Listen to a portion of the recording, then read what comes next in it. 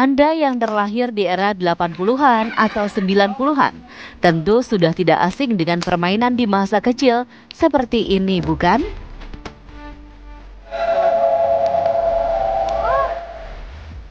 Iya, begitu serunya masa kecil di kala itu.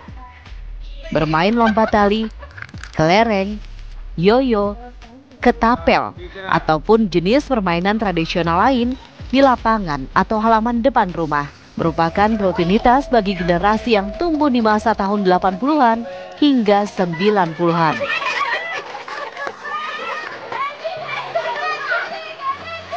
Namun di era digital seperti saat ini, tak banyak anak-anak yang masih memainkan permainan tradisional.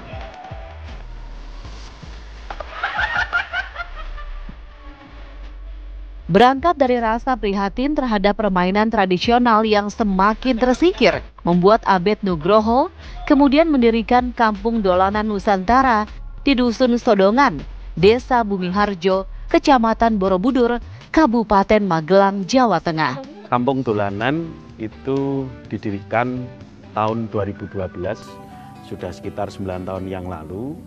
Awalnya adalah bentuk keprihatinan kami dari tersingkirnya permainan tradisional yang digantikan dengan permainan modern atau gadget. Buat kami dulu eh, orang seusia saya di, di atas saya kemungkinan juga banyak memainkan tradisional. Ini merupakan eh, sebuah kesedihan tersendiri, keprihatinan tersendiri. Maka kami ingin menghadirkan kembali mainan-mainan tradisional itu eh, kepada generasi anak-anak sekarang.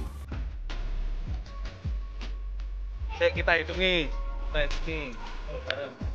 Yo. Nah, ini juga. Kampung Dolanan Nusantara menjadi salah satu wisata edukasi yang hadir di Magelang.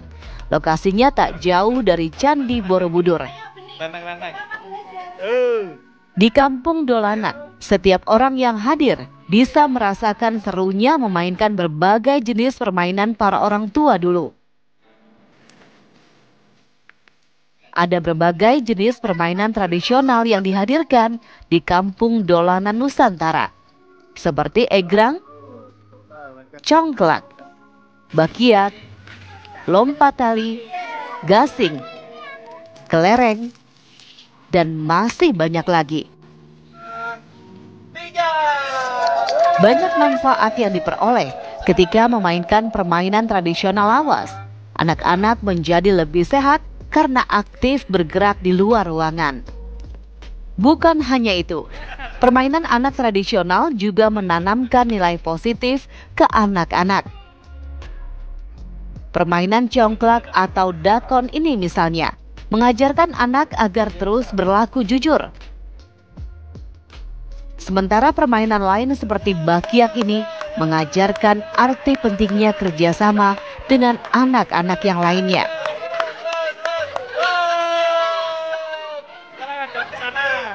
Bukan sekedar bermain, di kampung Dolanan Nusantara, para pengunjung juga diajak untuk membuat kreasi tradisional dari benda-benda alam yang ada di sekitar kita. Seperti ketupat dari daun kelapa ataupun kalung mainan daun singkong. Ya, seperti saya.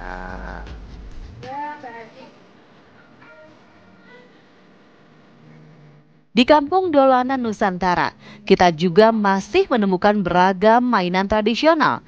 Gasing, otek-otek, yoyo, ketapel, congklak, seruling, dan masih banyak lagi. Menjadi barang mainan yang siap Anda koleksi.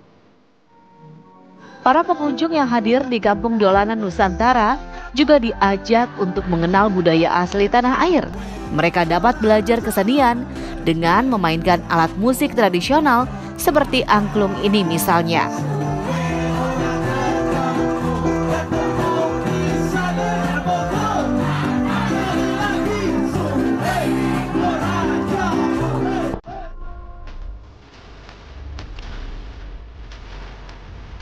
Satu, dua, tiga.